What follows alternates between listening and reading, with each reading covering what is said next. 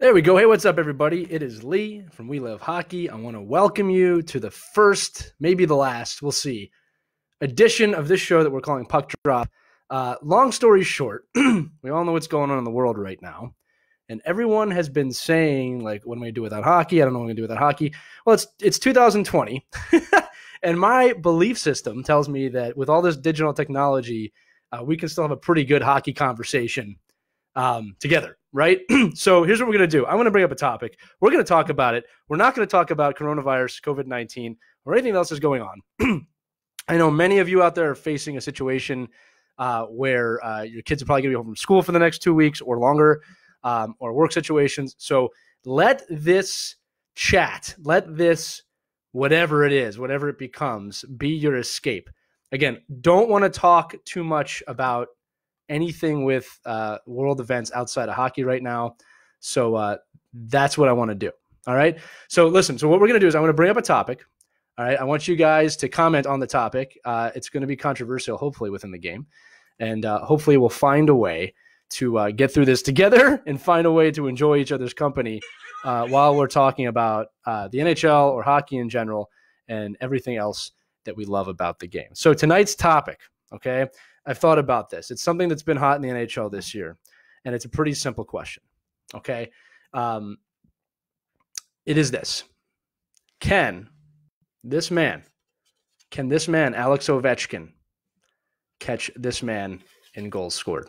This is Wayne Gretzky. This is actually Wayne Gretzky uh, Sursa the time period he scored uh, his uh, 802 goal to become all, all time. In fact, this is uh, the most points all time 1,851 points, October 15th, 1989. This is Alex Ovechkin as an assistant captain, probably from Sursa 2007 8 period. I don't know, whenever they changed their jerseys.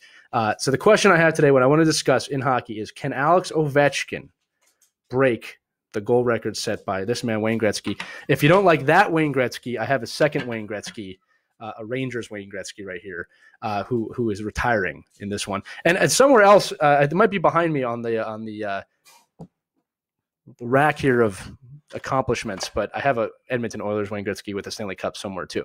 So that's the question I want to discuss tonight: is can Alex Ovechkin catch up to Wayne Gretzky in goals? Um, and become the greatest goal scorer in the history of the NHL. And you know, it also begs the question: Is he already the greatest goal uh, scorer in the history of the NHL. so, how this is going to work is I'm going to talk a little bit so people come on the live stream. Please feel free to comment. uh, I will read your comments out loud. I've got my cell phone out, I've got Facebook up on my desktop. We got a lot of stuff going on. In fact, this is kind of surreal. I'm talking to myself now while watching myself delayed. Um, but yes, please comment. Let me know your thoughts. So here's the first deal. Okay. And I, I also have my internet up here so I can look at some stats. All right. Um, Alex Ovechkin, I believe this, is already the greatest goal scorer of all time um, in terms of natural goal scorer. All right. And the reason I believe that is the time period he's playing in and the amount of goals that he's able to put up is pretty unprecedented when you think about it. Um, uh, Joe Falla, thanks for saying hey, because I hadn't seen one comment until you wrote something, and now I know people are actually watching this, which brings comfort to my heart. All right. So I, I've already got people disagreeing with me. Hear me out. Hear me out. Okay for Alex Ovechkin to be putting up the amount of goals that he's putting up right now at this point of his career, keeping in mind he probably still has six, seven, possibly eight years left. Um, I know Gretzky played in a different era, and I'm a huge Wayne Gretzky fan, so don't let that bug you guys at home. All right, but he's doing things that are pretty unprecedented uh, in a time period where goalies are the best they've ever been right? So I think in terms of pure goal scoring, he is he is the greatest goal scorer that ever lived. He'll never catch Gretzky in points, obviously. And again, there I'm I'm debating the greatest goal scorer all time, not greatest player of all time, not greatest point scorer of all time, greatest goal scorer of all time. In terms of pure goal scorer, he's already up there with the greats: Brett Hull, Wayne Gretzky, Rocket Richard. Um, you know, the question is, will he catch Gretzky? Um, we've all done the math on this. you know, he's he's about 190 uh, away. I'll look it up. Uh, but if he continues to keep a good pace, he is going to catch up to Gretzky and, and, surpass him. And keep in mind, Gretzky's actually said that he wants him to break the record. And uh, he's been super, obviously, Wayne Gretzky about this whole situation. He's a great human being. Um, but we'll see. So some comments coming in already. Kyle Dowd says goal record is obtainable. Points will forever be untouched. I agree with you on that. Obviously, Ovi is by far the best scorer, goal scorer of our generation and previous generations. Kyle, I completely agree with you on this. Right? Um, I'm not going to do scenarios like, hey, if you put Ovechkin back in the 1980s or you put Gretzky into the 2000s or 2020s now, uh, because th- it's not a fair comparison. Gretzky was the greatest player of his generation. Ovechkin is one of the greatest players of his generation. But in terms of goal scoring, uh, it's unprecedented what he's able to do against these goaltenders. And it, there was actually a heat chart of all of Ovechkin's goals that have been scored, and it was all over the the zone. Even one of them was outside of the zone. It wasn't just the top left circle where he scores all his power play goals, which is always phenomenal to watch. Um, although you got to keep in mind, I, have said this before he scores a lot from there. Goalies know he's there. Right? He's left alone a lot more than he probably should be. But I mean, that's a testament that the guy shoots a lot from there and still scores. But when you look at the heat chart of all of Ovechkin's goals, he's scored from from everywhere. Now, again, this is a community show. I want you to comment. I will read your name. I'll, I'll say your comments. We can discuss it. We can actually discuss whatever you want on this show, as long as it's hockey related. Doesn't start with C, end in 19. Don't want to talk about what's going on in the world. This is the hockey fix. I need this as much as you need this. That's why we're doing this. So welcome aboard to all of you coming in. All right. So uh, Tim Brosnan, Gretzky had the two line r- rule to deal with. Uh, that's true, Tim. Um, but I don't know if that's that's enough for me to to disfigure, uh, disfigure. Sorry, to, to discount Ovechkin. Uh, it definitely has helped offense in the NHL in recent years. Um, but there's a lot of rules. I mean, Gretzky had to deal with clutch and grab, right? I mean, Ovechkin doesn't have to deal with that. There, there's a lot of things that could go back and forth with Gretzky. Also, I mean, if you want the ultimate like these are does. I mean, the equipment the goalie's wearing and the the evolution of the goaltender in the 1980s. Um, we're still coming out of the stand up style. Uh, Gretzky had a clear advantage, in my opinion, uh, when it came to scoring. All right. Um, again, I don't want to do the if you put Gretzky in today's game, it, it's not a fair comparison. Um, or, or again, throwing out Ovechkin because you could throw any NHL player today back in the 1980s, he'd be the greatest goal scorer of all time. It's simply he's doing the numbers relevant to Gretzky in today's situation. He, I believe Ovechkin is the greatest goal scorer in the history of hockey, even if he doesn't hit that record. I'm saying that pure goal scorer. That's what I'm trying to say. Obviously, the record will make that finite. Let's keep going here. Uh, Pat Silva, can we get one of Giroux holding up the cup? I have one of Giroux. Um, I got a Bobby Clarke back there. Where's Giroux? There's uh, that's Simon Gagne. I have I have a Giroux somewhere. I have a Malkin one too. I didn't put it up. it's on purpose. All right, let's keep going here. Uh, Spence Kapat, Kapat, Spence, I can't ever say your last name. Spence from Long Island. I'm really dis- depressed. There's no AHL, AHL, and no men's league. So, Spence, here's the thing: I've got no NHL, I've got no AHL, ECHL, SPHL, uh, and my adult league team has got shut out tonight. Down, rinks are closed. No one's going out. That's why this is now your destination for hockey talk. We don't have to be depressed here, even though we are. We don't have to be because this is it. I would actually have a beer in my hand, but children may be watching do with that what you want. Okay, Danielle uh, Maglione. Is it Maglione or Maglione? Danielle comment says she agrees with Lee.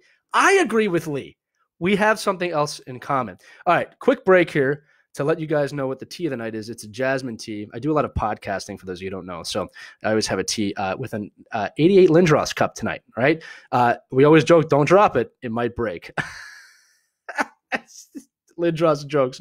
Oh God, I hope you're smiling at my my dad jokes because God knows someone has to. All right, let's keep going here. All right. Uh, again, keep commenting with your things. So again, we're talking about hockey tonight. We're talking about Alex Ovechkin. Here he is.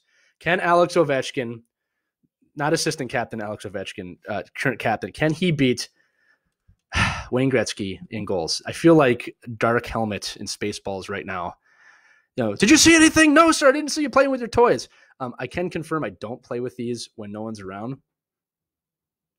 Can confirm that. Um, can Alex Ovechkin catch Gretzky? And is Alan Ovechkin, Alan, Alex Ovechkin, the greatest goal scorer of all time? Again, retiring Wayne wants to know. Um, again, if you look at statistics here, this guy's putting up 50 goals a season, uh, probably this season too. um, and it, it, it is is obtainable. Keeping in mind, this is a record that no one thought would become obtainable, and it became very real. I think uh, earlier this season we started talking about. Actually, I remember last season talking about a little bit. Hey, if he keeps going like this, he's going to catch Gretzky. Um, and then now that he's hit 700, it's becoming kind of a real deal. Um, you're, you're, in you're in a territory where not many people have that. Uh, I think I can't remember who was. I think uh, Esposito said that more people have landed on the moon than have scored 700 goals in the NHL, which is pretty amazing when you think about it. Um, and he's still going up the list. So listen, if he can maintain his pace for two more years, uh, he's going to quickly get to 800. Now, the, the, the key number in this chase is 802. If he can get to 802 and surpass Gordie Howe in goals scored, that becomes a super duper race. All right, because like I remember when Gretzky uh, passed Gordie Howe, it was a massive deal. Um, and there was a really cool thing. In fact, the NHL, this is really cool. I don't know how many people um, kind of watched this stuff back then, but uh, the NHL presented Gretzky with a book of every score sheet from every game he had ever scored in after he broke that record. And as you can imagine, it was over 800 pages. So it was, it was pretty amazing uh, gift. Um, Ovechkin is going to get there as well. I mean, I think I think passing Gordie Howe is, inevitable, Barney health um, and and hockey being played, obviously. Excuse me. Um, but it, it's it's an amazing accomplishment. And the thing is, the, the other thing I want to impress upon everybody, and it's not lecture at all. Like this is just me talking. I think a lot of you share this. Is that um, you know, when Ovechkin and even Crosby, I mean, I'll throw him into this. When you get players like Ovechkin and Crosby, specifically Ovechkin with what we're talking about, get to the point where they're entering this kind of greatness uh, time period, already obviously Hall of Famers, uh, both cup champions, um, you know, going to break milestones, you almost have to put fandom aside at this point and start to enjoy the player. And I'll give you an example of a player of the past I spoke about who, who sadly is going to be retiring, might be retired right now, actually. Um, it, and that's Jaromir Jagr, who's probably my favorite player in NHL history. Um, but I always said the last five years of his career, specifically when he was in the NHL, to you know, some of the kids I coach and some of the people I, I work with, that look, you got to enjoy Jagr right now because he's not going to be here forever, um, as we know, right? So, you know, I, the way I look at it is Ovechkin's got time left, Crosby has time left, but even as a Flyers fan, you know, I marvel at Crosby and how good he is. Now, you won't hear many Flyers fans say that, but he is probably the best overall player in the game in terms of Crosby. Ovechkin is the best goal scorer in the game. Uh, I'm a hockey fan first and a Flyers fan, whatever the smallest measurement is beneath that. Um, but my, my my love for hockey supersedes my love for one team. So when I you know I enjoy watching Ovechkin and Crosby play the game because again time is finite, man. They won't be around forever. Um, and you can say like, oh, we got McDavid's and we got these guys. Uh, generational talents are rare, and we have to enjoy them. You know what I mean? Like the truth is this: most NHL players are very expendable in terms of being moved on their team. Um, and that's that's something that you know usually scares people, but you got to think about that. Really, most players on a team are movable. Ovechkin is not. Crosby is not. Right? Uh, Giroux probably is not. If you look at the Flyers, right? Gretzky was, but in many different days, in many different ways. That's another show. Okay, let's go back to the comments. Um, uh, let's go. Okay, Brian Miles says this season. Okay, Caitlin Elizabeth always laughing at my dad jokes. Well, thanks. I, I'm a dad with. I even have broken headphones on tonight, which is a so super dad thing to do. Uh, Brian, uh, let's go. Brian Miles says, uh, "When do you think the NHL will resume play?" I'm going to take this as a hockey question and not as a medical question. Um, uh, I think they're taking the right precautions here. I think when uh, players are in the clear and people in the clear it'll come back. I, I do. I'm very optimistic that we will see uh, an ending to this season um, if if everybody works together in this country to get past this time. And I think that's going to happen. Uh, America and Canada, we, we step up when things are on the table. I, I, think we're stepping up now, even though I know a lot of people are feeling panicked and kind of uh, uneasy right now. This is unprecedented and weird. We step up and you can you can put take the money to the bank on that. They're, we're going to step up with this too. I really believe that. Uh, it's a good time to tell you that I am an optimist, but I do believe what I'm saying right now. I do believe we are going to step up. Um, let's keep going. Uh, Pat Silva, you should get a Hartnell team mug. Don't drop it because Hartnell down. So for those of you who don't know that outside Philadelphia, Scott Hartnell, who used to play in Philadelphia, uh, used to have an organization called Hartnell Down. He probably still does, but he fell on the ice so much. But no, not the Eric Lindros mug. The Eric Lindros mug is very delicate and you have to make sure that it's upright and has its head up all the time. And you can see in the mug, if you look in the mug, his head is up. Okay, 88 Hall of Famer, Flyers Hall of Famer. There you go. All right, uh, Caitlin Elizabeth, a Hartnell, Hartnell mug will always find a way to fall. That's true. all right, Patrick Benelli. He is definitely amazing goal scorer. I'm a huge Lightning fan, and I was in the building during that Game Seven loss to the Caps in the Eastern Conference Final. I know that was probably devastating. They went on to win the Cup, of course, that year. He is definitely a regular season goal scorer, but always struggled in the playoffs to score goals. What do you think he did prior to that Cup to change his play? In the playoffs? And do you think he will score more in the playoffs in the future? And do you believe he will raise another cup? Patrick, this is a great, great question. All right. Um, and I'm going to address it on multiple fronts. Okay. Um, I think the difference when he won the cup and not winning the cup is uh, another human being named Barry Trotz. I think Barry Trotz, who was the, the coach of the Washington Capitals the year they won the cup, found a way to get the absolute best out of Alex Ovechkin. If you remember him that season, he was a complete workhorse. He did everything on offense and defense. He was everywhere, and and we got the best version of Alex Ovechkin. Um, so I think in terms of the regular season, that's thing. That's that's one thing. Um, uh, postseason points. So so we we just got to separate this a little bit. Remember, postseason scoring does not go towards the record for the greatest goal scorer of all time. It's a different statistic, and I'm glad that they do that because in the postseason, different players can step up uh, and prove that once again, hockey is the greatest team sport in the world. So many examples of this. For example, in the uh, 1984, sorry, 1984 Stanley Cup Final, when Gretzky was not the MVP, it was Mark Messier. Um, in the 2000 Devils fans, if you're listening, you might have to help me with this one, but I believe in 2003 when the Devils beat the Ducks. I remember Mike Rupp, who's an analyst now on NHL Network. Mike Rupp scored two goals and I think I think the last game. I don't remember if it was Game Seven or not. Out of nowhere, nobody knew who he was, and Mike Rupp did not go on to become a goal scorer in the NHL. He's known mostly for his antics and now his hockey knowledge. Um, but the postseason's a crazy thing, right? And the best player doesn't always step up to the plate. Um, again, another show we'll talk about did Sidney Crosby deserve his MVPs in the playoffs? Um, but you know what I looked at is, and, and and and this is actually this kind of plays into this Crosby thing a little bit. When you look at postseason play, it's really more about the overall play. So Ovechkin might have done other things in that postseason that were very valuable um, to help his team win. And sometimes that's motivating. And here's the thing: if you're in the playoffs, if you're in the Stanley Cup final, who are you targeting? You're going to try and neutralize Ovechkin. The question is, can the second, third, fourth line step up? And a lot of times they do. Um, the two times that Crosby won the MVP back to back, um, he was the best player on the ice overall. Uh, again, look, there's always two or three players you can make the argument deserve the uh, the Conn Smythe, but uh, overall he was the best player on the ice. And I'm saying that as is again as most of you are. I'm a hockey person, so I watched. He played defense, he played offense, he was everywhere, and he contributed everywhere. Um, so I, I, get all the conspiracy theories about Crosby being you know, uh, you know, the league is selling it to him and stuff like that. And I don't buy into most of that stuff. Um, again, you could you could clearly make an argument there were other people that deserved it, but you're not going to make a good argument that he didn't deserve it as well. Um, and, and, then there's always the argument for like the losing team and someone on the losing team. Keep in mind, losing team players winning the Conn Smythe is extremely rare, um, and it's usually a goaltender when it does happen. Um, and you got to remember, the MVP is for the entire playoffs. A lot of people forget that; they just focus on the the Cup final I mean, if a guy scores 50 points in the first three rounds and doesn't score a goal in the cup final, I mean, he should be up for it too, right? So a lot of different different ways of looking at that. Uh, to keep going with your question, um, do you think he will score more in the playoffs in the future? I think he'll do what he needs to do in order to become uh, a champion, right? Whether that's goal scorer or not. The other great example, actually, of this is Steve Yzerman. Uh, if we have any Red Wings fans left or that are on here, um, Steve Yzerman was a goal scorer like Ovechkin. They used to call him Stevie Wonder.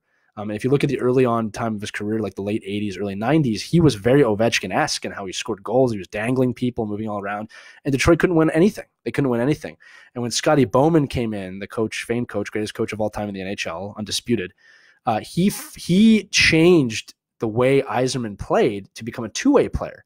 Now, I'm not saying that Ovechkin should become a two way player because he's gifted in scoring goals. And I think that uh, a lot of times when you have a player that's that gifted, you want to make sure that you accentuate or amplify what they're good at. But Yzerman turned into a two way player. He led by example, and Detroit had probably the greatest run in the history of the NHL of a playoff team, even though they're in hell right now. We, we, it's easy to forget. I think they made 25, 26 years row in the playoffs, and they had three, four cups in that time. One, two, I think they had three cups in that time period, which is major. It's a major deal, um, especially that longevity, right? So a lot of it comes down to coaching. A lot of it comes down to what the team needs. And do I believe that Ovechkin will raise another cup? Uh, it's a really tough question to answer. Um, I think they're always going to be in contention for it, but uh, I'm a. This is the thing I look at when it talks about the Stanley Cup. It's so hard to win it. I mean, it's it's people like to say, "Oh, it's obvious who's going to win." It's not. It's so hard to win it. If I asked you last December, not one person in the world would say the St. Louis Blues were going to win the Stanley Cup. And then you get to Game Seven, and people still weren't thinking they were going to win the Stanley Cup, and they did. So you never know. Um, it's it's actually funny because like we were on the live stream yesterday, and a lot of people were uh, jabbing at me about the Flyers, like, "Oh, this was your year," and I my attitude is like I appreciate that, I really do, but we are we are so far from winning a cup right now, uh, with 20 games left and the whole playoffs, right? With a team that's largely inexperienced in the playoffs. So it's a nice thought, but I don't know if that's the answer or not. So Uh, again, when you get to the, the, the playoffs and there's 16 teams, legit anyone can win. I have seen the 16th team, like the LA Kings, do it. I've seen the top team do it. Uh, that's what's beautiful about our sport. You never know who's going to win. You know, if you turn to basketball, I can tell you the five teams that are going to win it each year. Like one of the five teams is going to win it. To be fair, nobody saw Toronto coming last year, but like most of the time, I mean, especially over the last 10 years, you know it's going to be Golden State or whatever team LeBron's on. And now it's going to be the Lakers versus whoever. So, uh, great question, Patrick. Thanks for bringing that up. It was a long answer. Um, okay, we're 20 minutes in. That's the first period.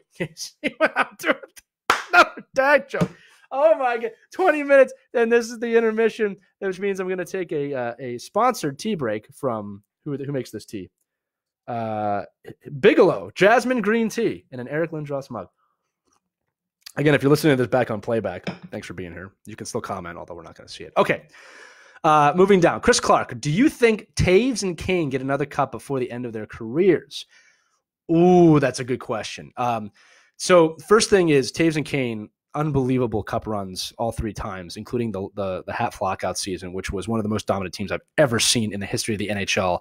Uh, the stats on that team, if, if there had been a full season and they maintained it, they would have been a top 10 team in the history of the league.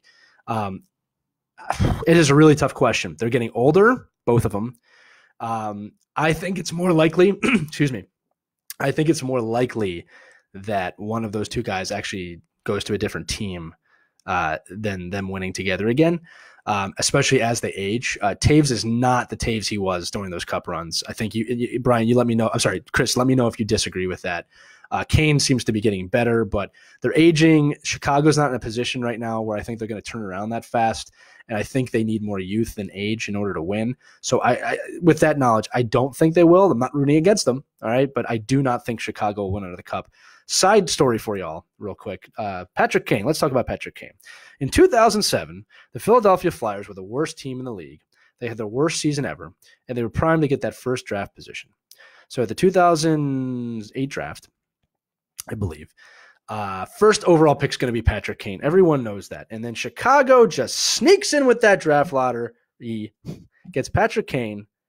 Right, we got James Van Riemsdyk who left and came back. Not a bad player by any means, but he's not he's not Patrick Kane. And who scores the game-winning goal in Game Six in the Stanley Cup Final against the Flyers?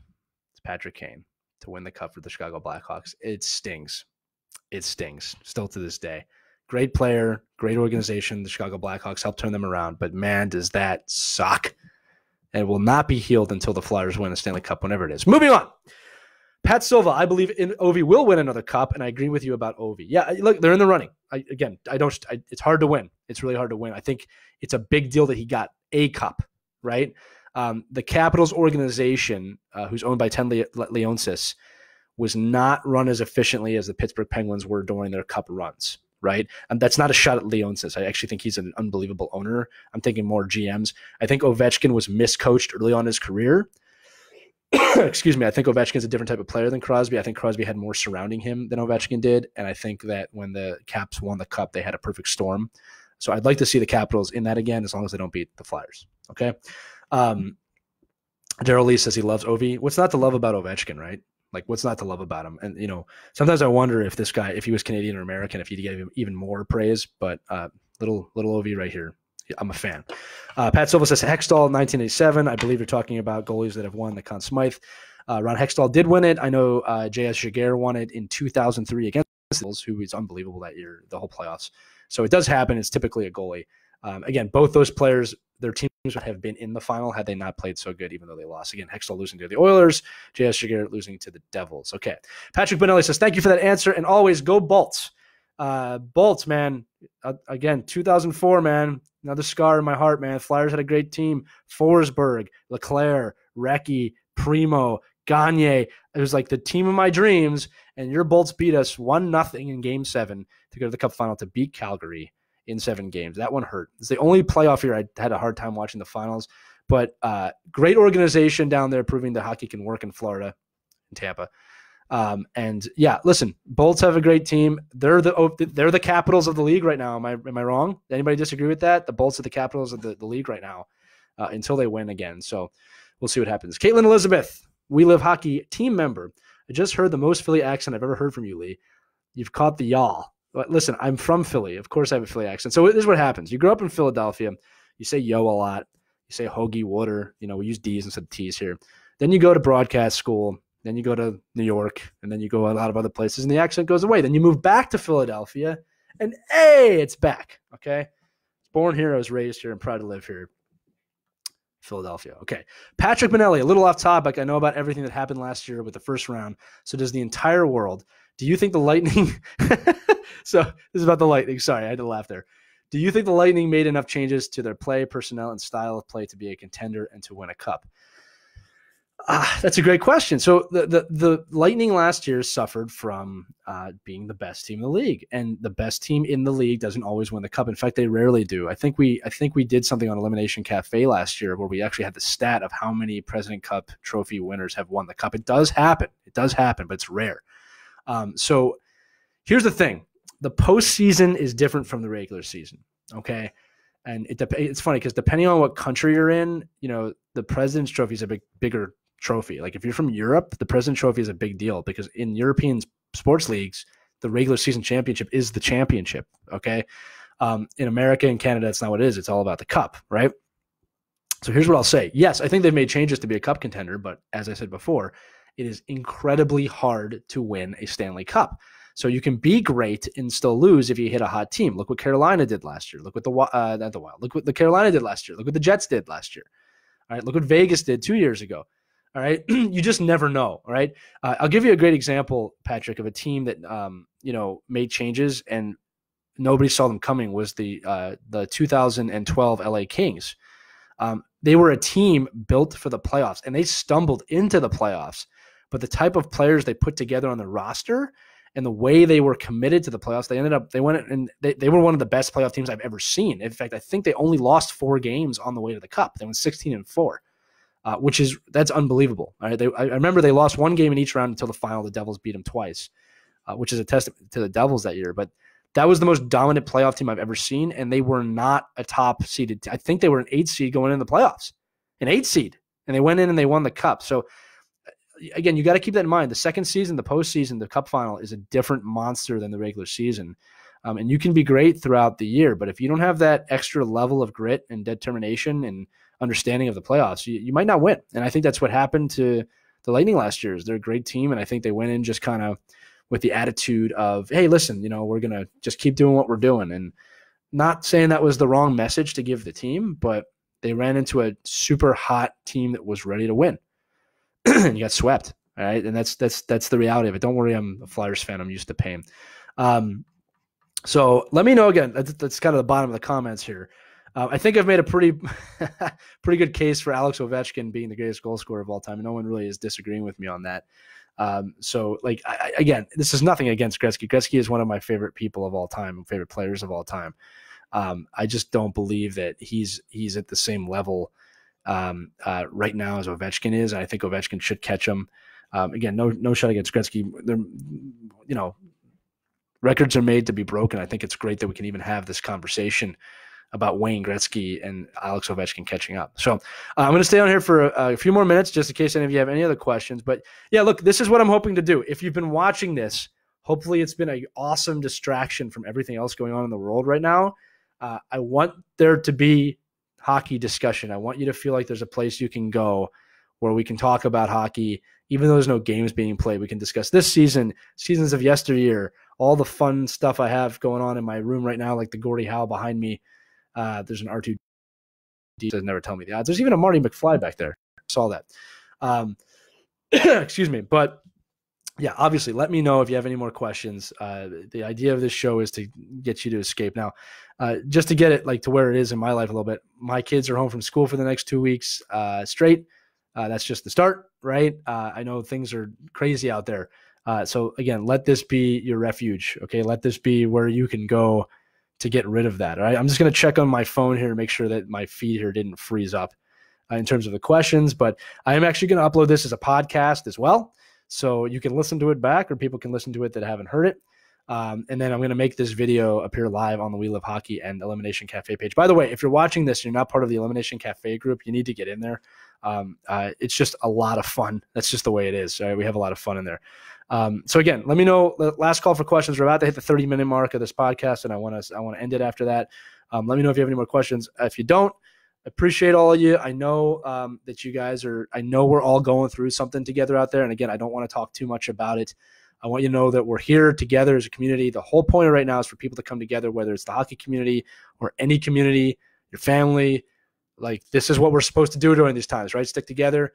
It's 2020. I am literally have lighting and a microphone and a HD camera, and I'm able to speak to all of you back and forth. This is a pretty amazing time to be alive in spite of everything. Uh, Caitlin just posted, by the way, the Elimination Cafe group uh, link in here uh, if you're not in there. Uh, Patrick Benelli says, "Great show. He loves scoring against the Lightning. That's true, and I hope he breaks uh, 800." My brother-in-law is a Philly fan. Go Flyers! Yeah. So, um, Pat, in another show, I'm going to talk about different fandoms from different cities because uh, here in the Northeast, where all the teams are kind of clustered together. Uh, keeping in mind that the Devils and the Rangers are one train stop away from each other. That's really unfathomable when you think about sports. Uh, they're eight miles apart, two professional franchises. And then you throw in the Flyers and the Islanders and the Capitals and the Pittsburgh and Boston, and you make a little eight hour circle, and the entire, almost the entire metropolitan divisions in one little tiny part of the United States. Uh, but I've traveled. I've lived in Florida. I lived in uh, Fort Walton Beach out near Destin in the Panhandle for a few years when my wife was in the military. I saw a different side of fandom. Um, I went to Texas. I saw a different side of fandom. Uh, you know, growing up in Philadelphia, we are taught to hate Dallas and I was near Dallas and people were wonderful. I go to Tampa. It's just a fun environment where people enjoy the game. It's not crazy. It's not about being tough, right? And then I go out west to LA and I went to a Kings game and Kings Sharks game seven. Wonderful environment. And it was very much once basketball starting, but hockey fans nonetheless. So um, another show, maybe, maybe um, the next time I come on here. So here's how puck drop is what I'm calling this is going to work. I'm going to try and come on around seven o'clock unless we all think there's a better time to do it. Um, not every night, just kind of as I can. So these should appear like games. it's just your team plays every few days. Maybe I'll be here every few days. Uh, feel free to message me or We Live Hockey or on Elimination Cafe if you have a cool topic that we think uh, that sorry that we would love to discuss. Right. So like this isn't just about me coming up with topics. Uh, this channel is all about the community and all about you. If you have topics to talk about, let me know them because again I'm one person and if we try really, really hard, we might even get Travis to come on to one of these. Um, you know, you know, who knows where Travis is right now? This is that's that's what's fun about Travis. He is my best friend, like a little brother. So we deal with it. Anyway, that's the 32 minute mark, which means absolutely nothing. But I'm going to end it here. Uh, Caitlin wants to know where Travis is. Ta- she tagged him. I don't know where Travis is. He's probably at home uh, enjoying time with his family. So again, once again, I'll, I really appreciate you coming on here to listen to this. If you're watching this on playback, uh, feel free to jump in the next time. Again, I, I, I really hope this has become a distraction for you from everything else going on in the world. Try not to to dwell too much on social media. The weather here in Philadelphia was beautiful today. I went out for a walk with my son. Didn't touch anybody, but we did go out and and enjoy the air. We're gonna get through this together, and hopefully, hopefully, I will have to stop doing these shows at seven o'clock because the NHL is back soon. Okay, now this is the part of the episode where it gets really awkward because I have to figure out how to end this on my desktop. I see the end live video here, and I'm gonna click it, but sometimes these things lag. But most likely, this is the end of this this version of this. So Pat Silva says, "Thank you, thank you, Pat. Thank you for being here." All of you have a wonderful evening. Again, message me. We live hockey, Elimination Cafe, or find me on Facebook, um, and we will talk to you soon. You guys are the best. The hockey community is the best. I will see you guys soon.